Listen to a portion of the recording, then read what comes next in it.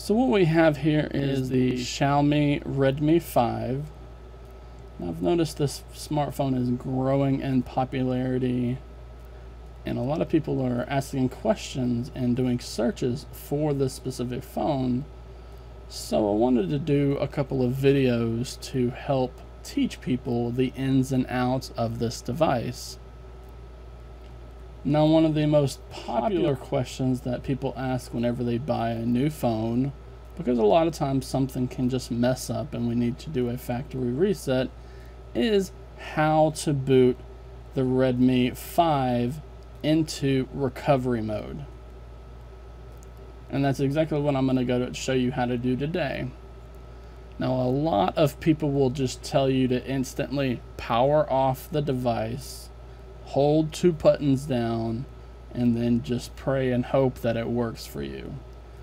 That's not what I'm going to show you how to today because it's, while it can work, and it can work if you're lucky, there is a much easier and simpler way of doing this. So instead, we're going to hold down the power button so we can bring up the power menu. Now from here, we're going to be tapping the reboot button and then we're going to tap that reboot button again.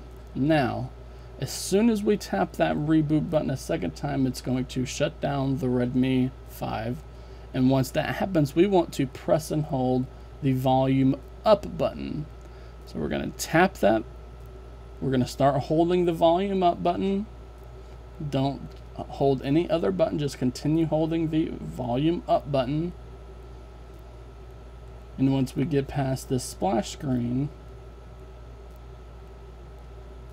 you're going to see we have booted directly into the Xiaomi recovery mode.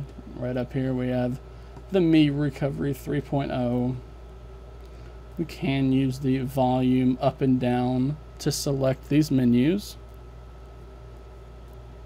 And we can use the power button to select it. If we wanted to reboot, we could do that. We could go back to the main menu. Again, if you wanted to, to, do a factory reset, which again is very popular in case you are running into a boot loop, maybe you've installed the wrong software, or you want to sell the device to somebody else, then you would come in here, highlight the wipe data option, and then press the power button, and it will wipe everything from the device. And I'll be showing you how to do that later. Not going to do that now because I have a lot of other stuff to show you with the Xiaomi Redmi 5. So once you are done with the recovery mode, maybe you actually, actually accidentally booted in here by default. To get out of recovery mode, we just want to make sure that reboot option is highlighted. Again, just look for what the blue thing is highlighting. Press the power button to select it. And we're going to make sure that the reboot system option is highlighted.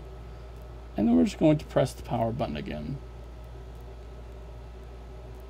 So you can see the Xiaomi Redmi 5 is going to reboot as long as we're not touching any of those buttons this is going to take us right back into the MIUI software directly from Xiaomi.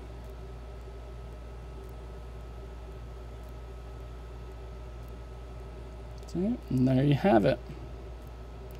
That is how is the easy way of how to boot the Xiaomi Redmi 5 into and out of recovery mode.